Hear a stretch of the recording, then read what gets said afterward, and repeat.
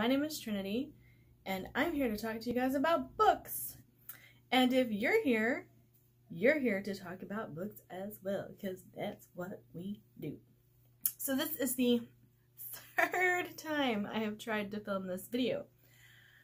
Hopefully, maybe the book gods just don't want me to put this video, this challenge out in the world. I don't know. But I'm here to talk to you about my 2020 Pop Sugar Challenge. This is going to be a bit of a long video, so go ahead, grab a snack, get you some coffee or some tea, and let's get this party started. So the Pop Sugar Challenge is a challenge that I have a tendency to do every year. A lot of people have asked me, what's the Pop Sugar Challenge? I've never heard of this before. But Pop Sugar is a fairly popular lifestyle blog that I have just always followed. And so I've always known about the Pop Sugar Reading Challenge. And every year they put out this challenge. Every year it's different. And they've started adding a little bit more thematically based stuff. So you'll see the word 20 pop up quite a bit towards the end of this. And I am just going to basically run through the list and the prompts with you guys and the books I picked and what I thought about them, what happened with them, and try not to give like too much of a synopsis because I don't want this video to be two hours long. But I will try to give my rating or at least my thoughts on the book that I chose. Okay, the first prompt is a book that was published in 2020 no surprise to anybody, I read The Black Song by Anthony Ryan. I love Vaelin Al Sorna's story. I have been captivated since Blood Song. This is the second in the newest duology in Vaelin's story. I gave it five stars. Super action packed, super enjoyable. Love Valen. Love Anthony Ryan. There you go. The next challenge was a book by a trans or non-binary author. I did find out that this author happens to be gender fluid, but I chose The Bone Witch by Rin Chupeco. And I ended up reading that entire trilogy. It was really good. It's young adult, so it does have a few tropes sprinkled throughout, but it is a very dark tale and I really enjoyed Tea's characterization through the whole novel and how she grows and how she changes and how she realizes things are not what they seem and she takes you on her journey of truth and discovery. And it's really, really such a fantastic trilogy. I would highly recommend it.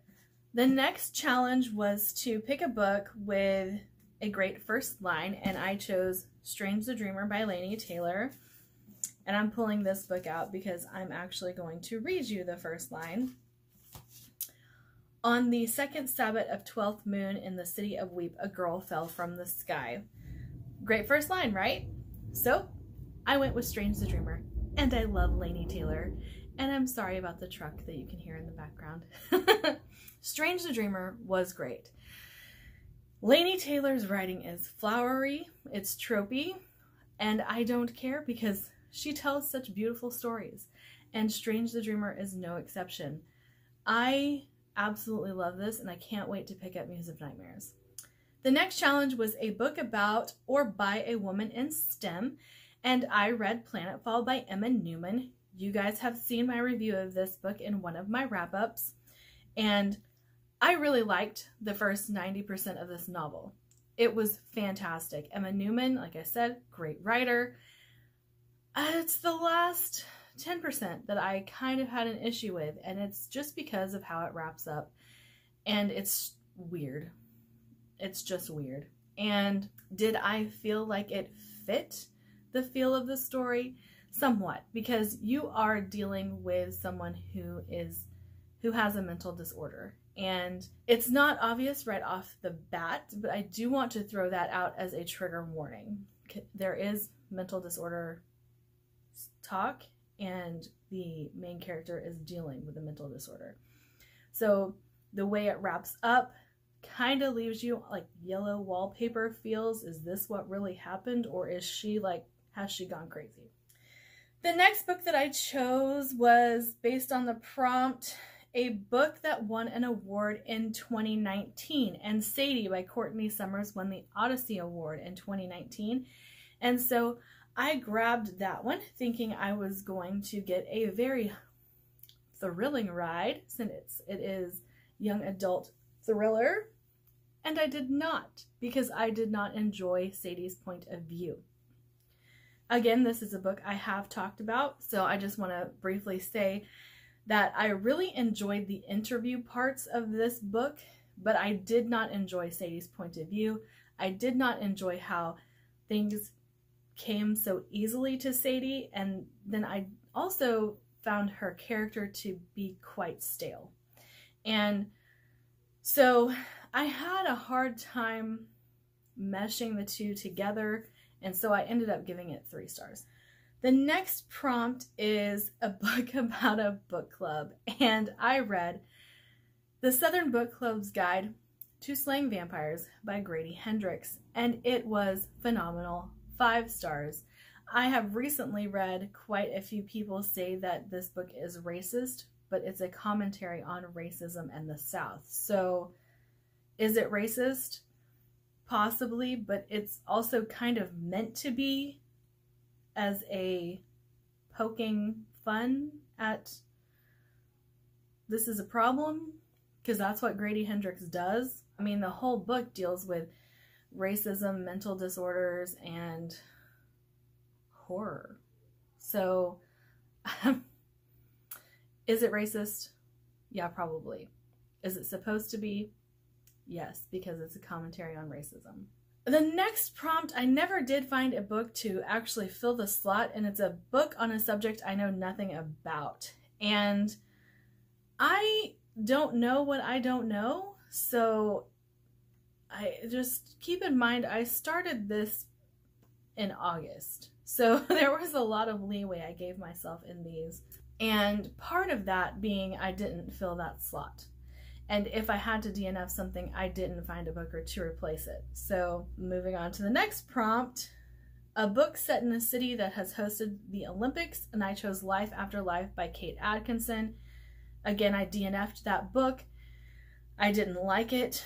I it had a groundhog day aspect to it so i was prepared for repetition but what i wasn't prepared for was how slowly it was going to move and i've heard very great things about this novel, but with the issues that I have, I just couldn't make myself sit down and read it. It felt like a chore and I DNF'd it. Now, this next word I'm going to butcher, and it is a Bildungsroman, which base I, I looked up the definition of it. It basically is a coming of age with, you know, a few more aspects to it, but I chose Ender's Game by Orson Scott Card, and I don't regret it. I gave that book five stars. I thought it was absolutely fantastic. I planes, trains, and automobiles. We're just gonna have a whole shebang going on. Sorry. I loved Ender's Game, but I aged up the characters in my mind because I really just couldn't get on board with them being six years old and they don't read like they're six years old at all. So i mm, it was fantastic and if you can read it and like age it up yourself in your mind then go for it. The next prompt is the first book i touched on my shelf with my eyes closed and i had to cheat a little bit here because i touched the third book in a series and the series starts with Labyrinth by Kate Mosse. I DNF'd this one as well. I am a huge fan of James Rollins' The Blood Gospel, and I I didn't realize the premises of this novel and the Blood Gospel were so close together, and I, they Kate Mosse just didn't quite write as well as James Rollins did. And so I was like, oh, this is so close to the blood gospel, but it's not even half as good as the blood gospel. And so I couldn't read it. I I DNF'd it on that basis. Was the writing good? Yes. So if you haven't read the blood gospel or if you know those close ties to other stories don't bother you, then you might definitely like this one. The next prompt is a book with an upside down image on the cover, and I chose The Beautiful by Renee Ahdieh. And I liked this book. I gave it a three stars, but there were so many issues with it that I'm not going to continue with the series. And my main issue was the main character, and she was very whiny, and I, I didn't like it. And I went into detail in that in my uh, November wrap up, so I'm not going to go into too much detail now. It was three stars, so if you can deal with a main character like that, then I would recommend these because the writing is very good, the setting is fantastic, and vampires don't play a big role in this, at least this first book. So you might enjoy it. The next prompt was a book with a map, and I picked Six of Crows by Leigh Bardugo. And I loved it. You guys know I loved it. You guys know I am in love with Leigh Bardugo's writing, and she's been a solid five stars across the board for me. I haven't read the Grishaverse yet, but this is set in the Grishaverse, but I haven't read the original trilogy. And I love the characters. I love the heist. I love, I love Six of Crows. It's so good. I would, I'd recommend this in Crooked Kingdom. The next one I read, uh, the prompt is a book recommended by your favorite book blog. And I'm calling out Sam for this one because I read Malice by John Gwynne. This is one of Sam's favorite series. She talks about it all the time. And I have to say, I was very surprised. I don't like the setup novels to fantasy series. They are always boring. They're the setup. They're they're they're there. and trilogies is not quite so bad because you have to have some story. When it's a series that has multiple books beyond a trilogy, it's not so much beginning, middle, and end. It's the setup. But this one was a five star because it surprised me. It was really, really good. And now I'm going to call myself out for being the big fat Bioware nerd that I am. The next one is an anthology, and I read Tevinter Nights. It is multiple authors, but they are the writers of Dragon Age, and I thoroughly enjoyed this. I'm a huge Dragon Age fan, and the fact that these stories are all centered around what could come for Dragon Age 4 really, really gets me excited for the next game. Not that I'm not excited, I am always excited for any Dragon Age content, but this one was really, really good. The next prompt is a book that passes the Bechdel test and I chose Scarlet by Marissa Meyer. The Lunar Chronicles, I've talked about them. I've talked about them recently, so I'm not going to talk about them again. They're great. If you like young adult, pick them up. The next prompt is a book with the same title as a movie or TV show but unrelated. I chose Legend by Marie Lu. I just DNF'd this book. I don't know if it's because I am not in the right age range for this novel, but this novel read very young. And I do like young adult. So I think because this is the first novel that Marie Lu wrote, or I think it is at least, this was not her best work. I do want to pick up more by Marie Lu. I, I, I plan to read The Kingdom of Back, and I have The Young Elites in my shelf over here. So hopefully I do end up liking some Marie Lu. I just did not like Legend. The next prompt was a book by an author with flora or fauna in their name, and I chose The Cruel Prince by Holly Black. We all know I love fame. I don't need to talk about this book anymore. It was great. The next prompt was a book published in the same month as my birthday. So my birthday is in February, and the book I chose was All the Stars and Teeth by Adalyn Grace. I thought this book was so fun.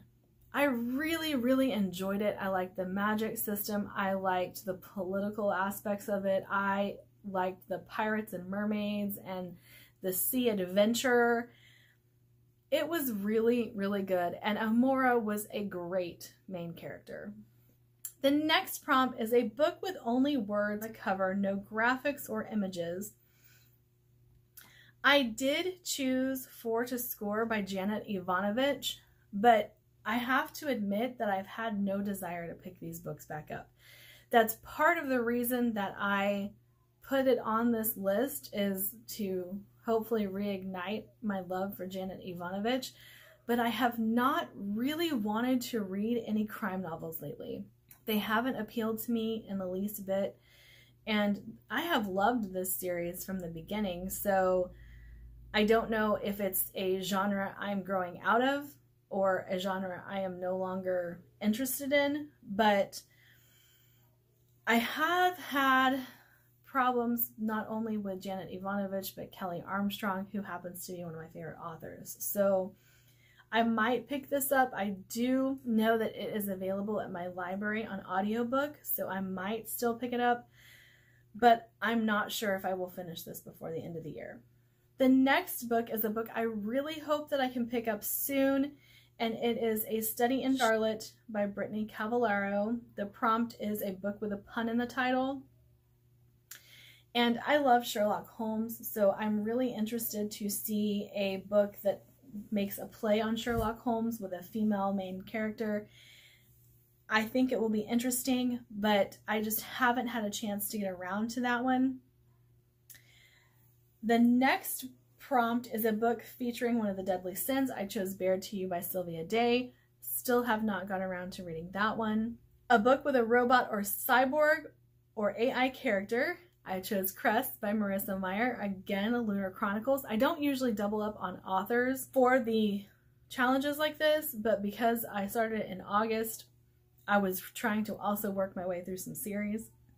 And Cress was fantastic. The ending was amazing.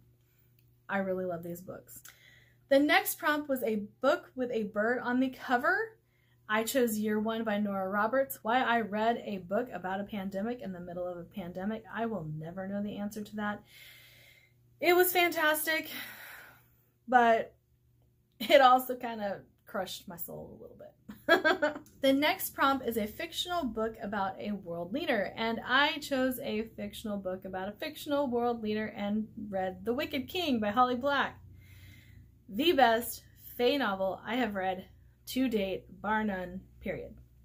A book with gold, silver, or bronze in the title, I read Vision in Silver by Anne Bishop. Now, this is one of my favorite series of all time, and I just happened to be able to plug this in for the prompt. Awesome.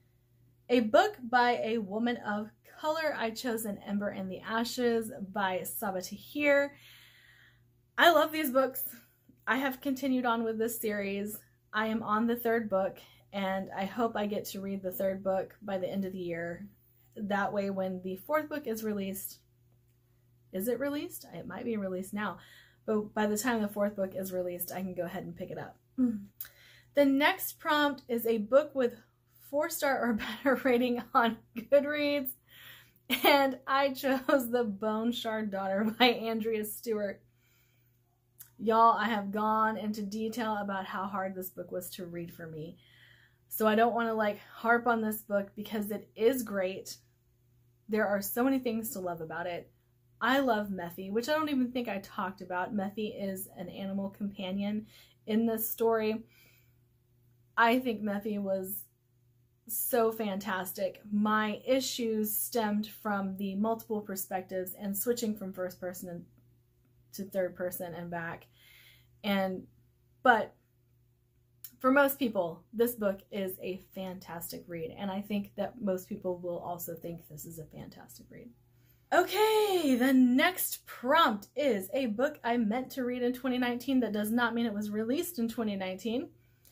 But I read The Broken Eye by Brent Weeks because I love Brent Weeks and I love the Lightbringer series and I'm going to continue it and shh, don't tell me that the next books are bad. this next one I did take a little bit of leeway with because I didn't like the prompt.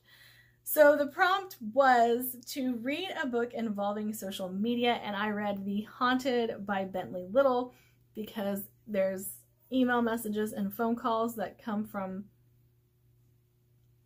not people. And I didn't, I don't like books about social media. So this was me plugging in a prompt. You can give me a half point if you want to for this one. That's fine. The next prompt was a book with a book on the cover, and I read Ink and Bone by Rachel Caine. This is one of those books that while I liked it, I really enjoyed it while I was reading, I don't plan to continue on with the series because it was a premise that was okay to me. It sounded great, but whenever I got into it and realized what all was going on, it, I was just kind of eh, about it. And it's about the Library of Alexandria. What if it didn't burn down? What if they become the great power? You know, knowledge is power, all that stuff. And again, it sounded great, but whenever I started reading it, I was just like, okay, that was a good book, and like set it aside. You know what I mean? The next book I read was a medical thriller, Unnatural Causes by Don Eastman. I did like this book. It was a solid story. However, it's one of those that's just a good story. Like you read it, it's a good story, you set it aside, you're done with it, moving on. There was nothing groundbreaking about it or anything like that. I gave it three stars. I liked it. The next one is a book I hope to get to before the end of the year. I don't think I will though, and that is a book with a made up language, Shadow and Bone by Leigh Bardugo, The Grishaverse. I need to start this. I haven't yet, but we'll see if I finish it before 2020. The next prompt is a book set in a country beginning with C. I chose Dreams of God and Monsters by Laini Taylor. I had an issue. I did DNF this book. My issue was my problem, though. It had nothing to do with the book. I read these first two books years ago. So when I went to pick up Dreams of God Monsters, I didn't remember what was going on, and I did not want to reread the rest of the series. And so I ended up DNFing it and again, no fault of Laini Taylor. It's mine for not picking up this series for years and years. The next prompt is a book with a title that caught my attention. I have to tell you, if you have Strange in your title, I'm interested. Strange the Dreamer, Strange Candy. I picked up Strange Practice by Vivian Shaw, and I'm so glad I did because this book was so fun. I have the next one, which I think is Deadly, no, I'm thinking of Naomi Novik. Anyway, I have the next one. It's right there. And these are about Van Helsing's daughter, granddaughter, who continues his practice of working with monsters and giving them the medical care that they need. Strange practice. I, again, adored it. So fun definitely worth reading. The next challenge was a book with a three word title, and I picked All Is Fair by Emma Newman. Again, continuing series that I had already started. This is the Split World series. I believe it is book three. These are great. They're Fae. I really enjoy them.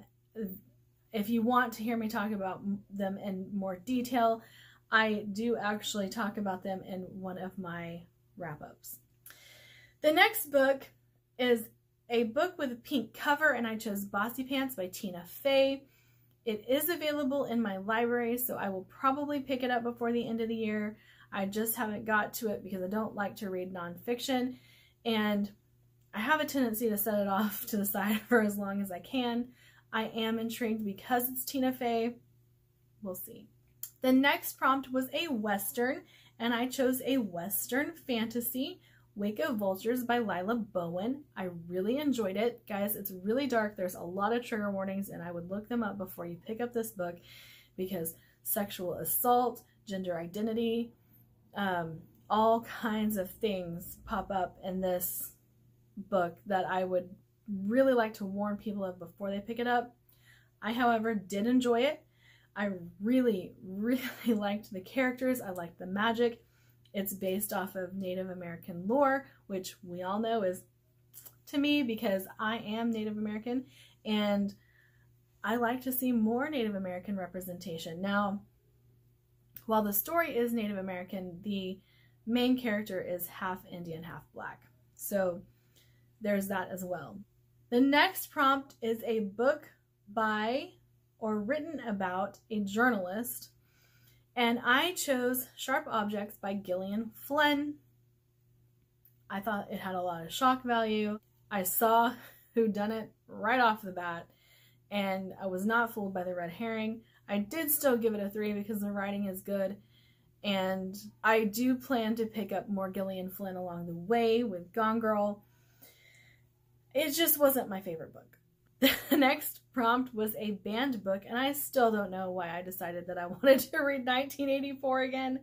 It was okay the first time I read it, it was okay the second time I read it, and I, I did almost DNF it this time, but I, I went ahead and pushed through, and 1984.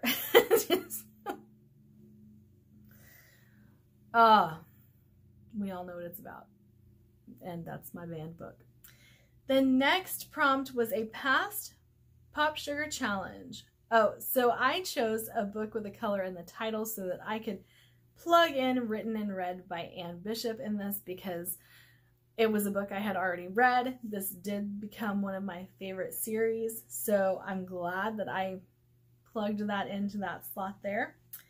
The next prompt is a book written by an author in their 20s, and I chose Burial Rites by Hannah Kent. Guys, this is a must read novel. Must read. if you're like me and you like dark things, this is a must read because this is about a girl who is pretty much on death row and she gets she kills a guy. That you know this. That's why she's been imprisoned. And she's telling her story to this family who finds out the truth about what she's been through and it's beautiful. It's heartbreaking, it's dark, it's crass. I highly highly highly recommend it.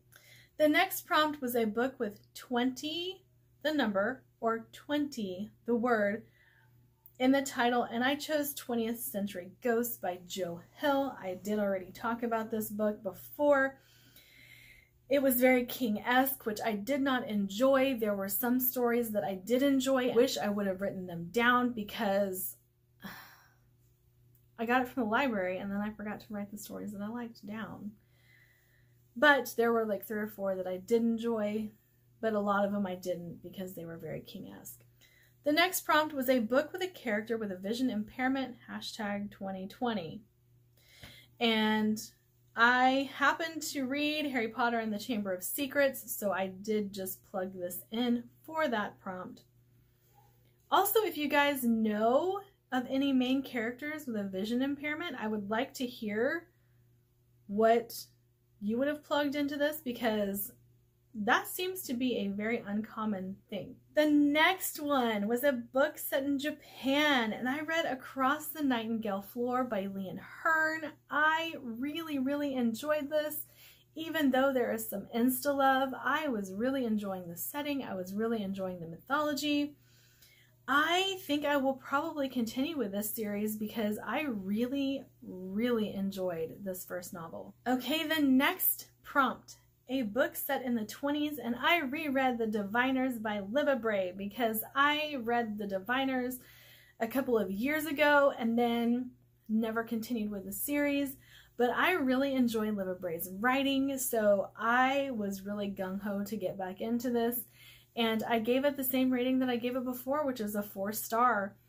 And this is a little bit dark, which again, I like dark. So some having this list might be the epitome of darkness for some people. I don't know.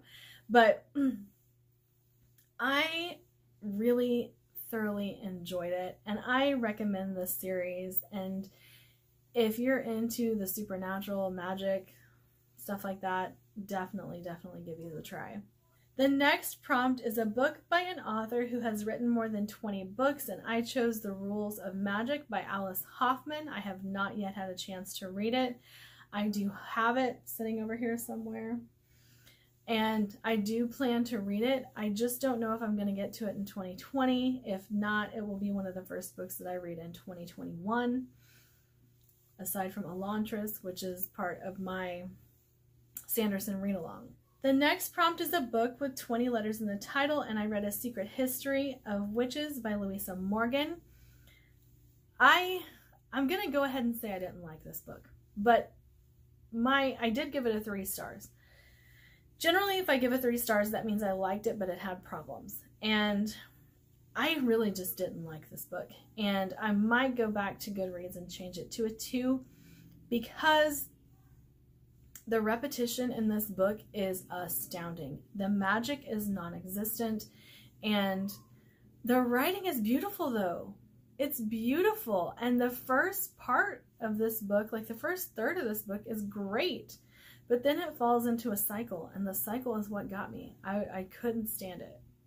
The next prompt is a book published in the 20th century, and I reread one of my favorite sci fi books of all time, which was Brave New World by Aldous Huxley. And I loved it just as much this time as I did whenever I was in high school. And I think I will probably continue to reread this throughout my life. The next prompt is a book from a series with 20 plus books, and I said not too long ago that this series was like 20 books long. I, it's almost 30. And I chose Serpentine by Laurell K. Hamilton because it is the next book that I have not read in the Anita Blake series, but I have fallen kind of out of love with this series, guys.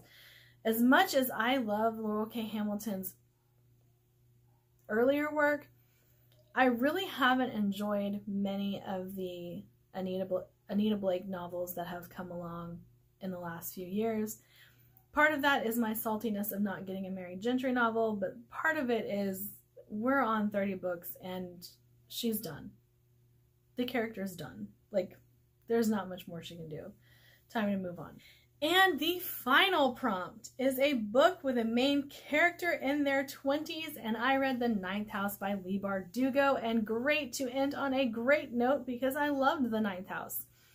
I really like Darlington's point of view, and I really like that this is going to be a series because I really want to know what's going to happen with Darlington and Alex moving forward and I thought this was a great start to a series. Now, would had this been a standalone, I don't think I would have given it four stars, and I know that a lot of people thought it was going to be a standalone, but while this is also adult, it does still have a young adult feel while reading it. So keep that in mind if it's something that you want to pick up. But that was my 2020 PopSugar Challenge. I hope I have turned you on to some new books or, you know, helped you decide if you wanted to bump a book up on your TBR or take it off of your TBR because there's nothing wrong with that. But I thank you for sitting and listening to me talk for so long and I hope you enjoyed this video. If you did, give me a thumbs up. If you didn't, you can definitely give me a thumbs down. I, I don't care. But you know, let me know what books you would have added for these prompts because I am still always looking for new books to read and I had some trouble with some of these prompts. but have a great day, have a great weekend.